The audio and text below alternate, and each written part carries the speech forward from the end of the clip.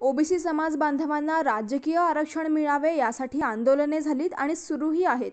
पुढील काळात येणाऱ्या स्थानिक निवडणुका लक्षात घेत आरक्षणावर देखील राजकारण तापते आहे. आरक्षणाच्या चर्चेमुळेच इम्पेरिकल डेटा जनगणना अध्यादेश यासारखे शब्द सर्वसामान्य माणसांच्या कानावर पडले आहेत. या आरक्षणात आणखी काय काय दडले आहेत हेच जाणून घेण्याचा प्रयत्न आपण करत आहोत. राष्ट्रीय स्वयंसेवक संघाच्या जवळचे समजले जाणारे विधान परिषदेचे आमदार रामदास आंबटकर यांनी देखील आपले मत मांडले आहे. पाहुयात आमदार रामदास आंबटकर काय म्हणाले अशा प्रकारचा सरकारचा निषेध आणि सरकारला आगाह करण्याचं काम चाललेलं आहे.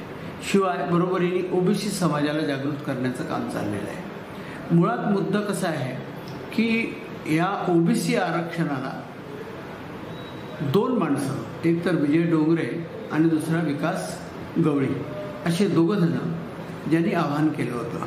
आणि हे पन्नास टक्केच्या वर आरक्षण आहे म्हणून ते कोर्टात गेले होते. आता त्याच्यावर कोर्टाने सरकारला सांगितलं की तुम्ही तुमचं जे करत असताना तुम्हाला राज्य मागास वर्ग आयोगाची स्थापना केली पाहिजे. ही राज्य मागास वर्ग आयोगाची स्थापना केल्यानंतर तुम्हाला ताबडतोब इम्पेरिकल डाटा ज्याला मराठीत साधं त्याचं भाषांतर जर केलं तर सूक्ष्मतम नोंदी. आता ह्या सूक्ष्मतम नोंदी कुठून सुरू होतात? तर ह्या वॉर्डपासून किंवा गावापासून ह्या नोंदी सुरू होतात. प्रत्येक गावात प्रत्येक वॉर्डात कुठल्या समाजाची किती किती मतं आहे? किंवा जनसंख्या काय त्याची? त्याच्या आधारावर ते आरक्षण बनेल. आता हे न्यायालयाने मागितलं होतं की तुम्हाला तुम्ही आम्हाला इम्पेरिकल डाटा द्या.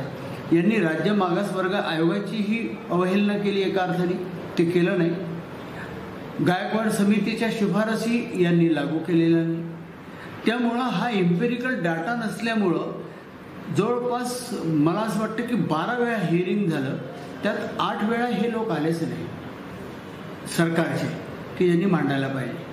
आणि कोर्टाचं म्हणणं हे आहे की हा केंद्र सरकारचा विषय नाही आहे ह्या इम्पेरिकल डाटा जो आहे हा विषय आहे राज्य सरकारचा. त्यामुळं हे आरक्षण इम्पेरिकल डाटा न मिळाल्यामुळं गेलं म्हणजे हे राज्य सरकारमुळं गेलं. हे तर न्यायालयाचं न्यायालयाचं हे आहे इंटरप्रिटेशन आहे. हे काही कुठल्या राज्य मी कुठला राजकीय म्हणूनही बोलत नाही परंतु माझी पार्टी आहे. पार्टीने हे आरक्षण ताबूत ठेवलं होतं.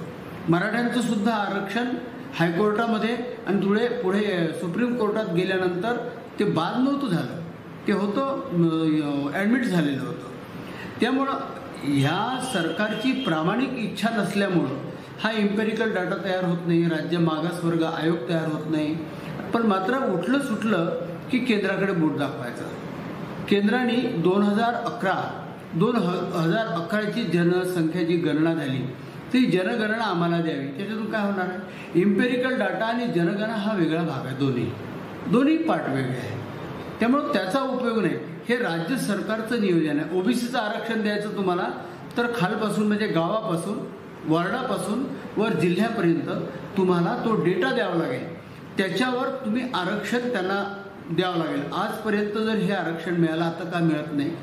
तर यांना जे कोर्टाने निर्देश दिले न्यायालयाने निर्देश दिले ते न्यायालयाचे निर्देश यांनी पाळलेले नाही आणि जोपर्यंत हे इम्पेरिकल डाटा देणार नाही तोपर्यंत हे आरक्षण विचार न्यायालयाचं आहे. आम्ही आंदोलन करणार आहे. आमचं आरक्षण गेलेलं आहे. आणि हा सर्व समाज ओबीसी समाज जवळपास तीनशे अठ्ठावन्न जे जाती आहे त्याच्यात ओबीसी समाजात या सर्वांचं आरक्षण गेलेलं आहे. त्यामुळं समाज जो निर्दिष्ट होता तो जागा व्हायला लागलेला आहे.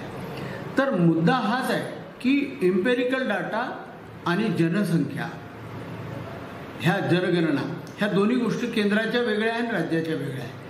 राज्य निवडणूक आयोग ह्या निवडणुका घेत आहे. ओबीसी म्हणजे या राज्याच्या निवडणुका आणि विशेषतः स्थानीय स्वराज्य संस्था. स्थानीय स्वराज्य संस्थांच्या निवडणुका कोण अरेंज करते? केंद्र सरकार नाही करत. हे राज्य सरकारचं राज्य आयोग करते. तर हे यांनी हा डेटा यांनी देणं आवश्यक आहे. हा दिल्याशिवाय हे होणार नाही हे क्लिअर आहे.